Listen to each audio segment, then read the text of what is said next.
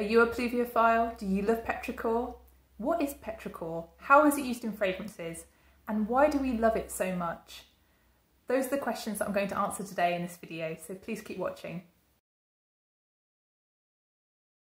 Hello, I'm Claire Smith and welcome to my channel. So today's video is going to be all about petrichor and it's actually part of my perfume science series. So if you like that kind of content then please press the like button and please also consider subscribing if you haven't done already.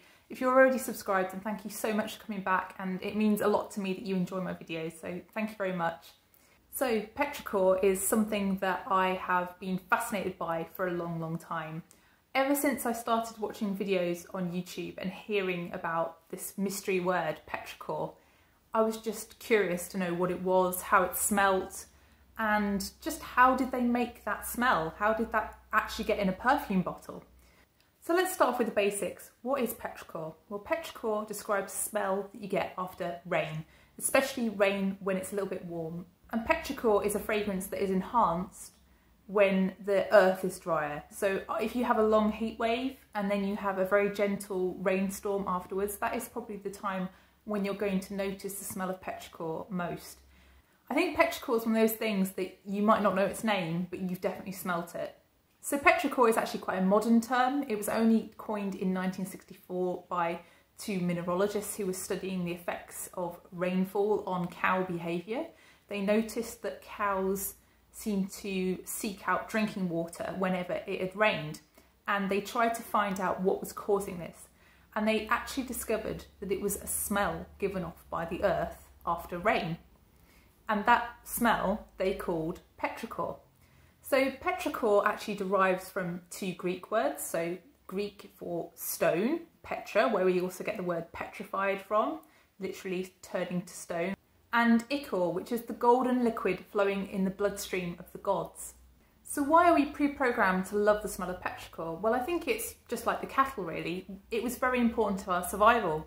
If you woke up and could smell that it had rained, then that would be a time for you to go out and forage. That would be a time for you to go and look for water sources. That would be a time when animals would be more active, where you would be more likely to catch something. So that kind of sensing of that smell would have been really crucial to our survival. So rain has lots of other pleasant associations for humans. The sound of rain can be particularly relaxing. How many people listen to those rain sound videos on YouTube when they're trying to drift off? How many people sleep much better when it's raining heavily outside? Watching rain, watching water, watching it trickle can also be really relaxing and so it's not really a surprise that we love the smell of rain as well as the sight and the sound of it. So in a way, we're all pluviophiles, we're all lovers of rain. So what is generating that petrichor smell? Well, petrichor doesn't refer to summer rain, it refers to the smell generated by the rain hitting the surface of the earth, so either the soil or, or the concrete, or the smell of it hitting plant life and that releases a number of different compounds. So it's the combination of those compounds that produce the petrichor smell. And that smell can be different depending upon where you are, how strong the rain is, various different things. It's very individual to your location and the atmospheric conditions. So petrichor generated in the countryside, perhaps in a, a forest, will be will smell very differently to petrichor generated in an urban environment, just because of the nature of the different surfaces and the different plants that are present in those locations. So there are three main groups of compounds that contribute to the smell of petrichor. And the first one is really something that is not always present or is not always present in such high quantities, and that is ozone. So ozone is actually a form of oxygen. So the normal oxygen molecule that we breathe in and that is essential for life is O2.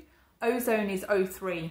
And ozone is only really formed under high energy conditions. So conditions like lightning or welding, or you might have smelt it perhaps on the underground or the subway where you are. There's a, there's a very particular scent to, under, to underground stations to me. And not, I'm not talking about the filth, I'm talking about just that there's like this electrical charge kind of smell about an underground station. So ozone is kind of sharp, metallic, sparky. It just it just smells like electrical sparking. We are really sensitive to ozone. Ozone is something that is toxic to us. We can smell it down to 10 parts per billion. because it's toxic at levels of 1 in 10 million. Nitrogen can also be in this mix and nitric oxide is a really sharp and sweet smelling gas. So that can also be part of the petrichor makeup. The second compound, and probably the most crucial to the smell of petrichor, is geosmin. So geosmin literally translates from the Greek as earth smell. So geosmin is a chemical that is released when certain types of soil bacteria die, which is a really beautiful thought, isn't it? And you might have smelt geosmin when you dig a garden or when you harvest beetroot. Beetroot is a really good example of the smell of geosmin, that kind of damp, earthy smell that you get with raw beetroot. Beetroot has one of the highest concentrations of geosmin. In high concentrations, geosmin can, can smell just really unpleasant. It can smell like a damp cellar. It's really musty. So it's only really pleasant in the form of petrichor because in petrichor, the amount of geosmin is really quite low. And in petrichor, geosmin is in the context of different compounds, which I'm going to talk about later, which make it smell better. So, as I've hinted at, humans are incredibly sensitive to the smell of geosmin. Humans can smell it down to five parts per trillion.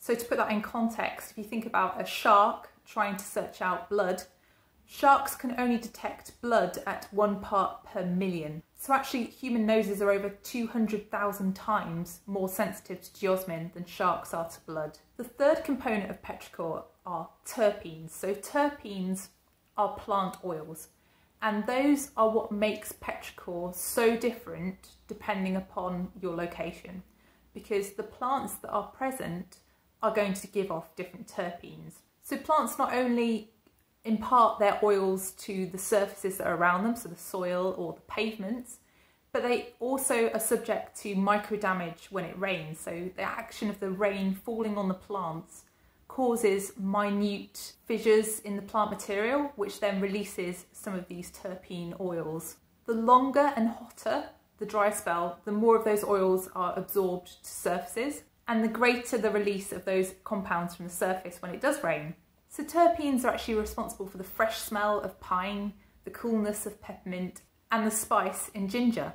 Limonene is a really good example of a terpene, and that is a component that's used a lot in fragrances. Limonene is something that can give obviously citrus fruit kind of nuances to fragrances and is also found in peppermint.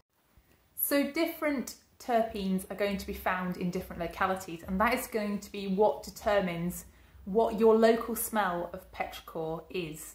So you might live right near a pine forest, in which case your local smell of petrichor might be based more around the pinene terpene. Or if you're in Italy, you might live near a lemon grove, in which case your smell of petrichor might be based more around limonene. Or you might be lucky enough to live in New Zealand and live right next to a tea tree plantation, in which case your experience of petrichor will be more based around terpinolene. So is petrichor in fragrances a new thing? Actually, the answer is no. So there's a village in Uttar Pradesh in India who've been making fragrances based around petrichor, even though it wasn't called petrichor since 1911. So they take blocks of, of clay that's been sitting out in the sun and they basically distill it. So they will add some water to it and then boil it up and they will capture the essence that comes off this clay and blend it with sandalwood oil and they bottle this and they call it the scent of the earth, Attar Mati. So this is the first example of a fragrance based around petrichor. So if you want to smell petrichor in fragrances, which note should you look out for? Well, the first and most obvious thing that you can look out for is geosmin, but perfumers tend to shy away from using geosmin and actually there are very few fragrances that I know of with geosmin actually in them. I think the reason for this is perhaps because geosmin can be very musty smelling. You can end up with a fragrance that reminds people of beetroot, which is probably not going to be a bestseller. Other notes can really elicit that petrichor smell, and perfumers can really play with your imagination by including a range of other notes to give you the feelings of things after the rain. So you might want to use, for example, very dilute patchouli or vetiver to give you a wet earth feel. Or you might want to reach for something that's going to give you something ozonic to give you a thunderstorm feel. Or perhaps something that is green like, like moss or something that is woody perhaps. even perhaps some modern musks might be something that could give you the feeling of water on surfaces. You may have checked fragrance's notes on Fragrantica and seen something listed such as rain. And rain is clearly a fantasy note, they're not bottling rain, but they're mimicking the smell of rain using compounds such as Mélifleur and Florazone. So if you want to experience petrichor in perfumes, which fragrances should you go smell? Well, I think one that is out right now and one that partially inspired this video is When the Rain Stops by Maison Margiela Replica Fragrances. So I went to smell that one recently in a department store and I was shocked by how much it reminded me of summer thunderstorms. So it, the opening does have a very strong petrichor feeling to it. I think there is geosmin in this fragrance and you do get that. It's very green and it's very earthy at points. It's definitely uh, quite a watery feeling as well. It's also got ozonic notes. It just feels very much like a really good example of petrichor. I wouldn't say it's something that I would want to purchase. It didn't it didn't make me think that I wanted to smell like that but when I smelt it, I did recognise there was petrichor there. So overall, it's just a fresh, green, watery feeling fragrance. So there are many other fragrances that have petrichor notes in them or other notes that can suggest petrichor. And I'm just going to list a few here. I don't, I'm not going to go into masses of detail because some of these I haven't smelt and I don't want to lead you astray basically. So the first one is Un Jardin sur le Nil by Hermès. This one is described as something that smells like a garden after the rain, so that might be a good one to check out. There's also Sea of Grey by Solstice Scents. That one is described as a beach after the rain, so a salty beach kind of fragrance, but after a rainstorm.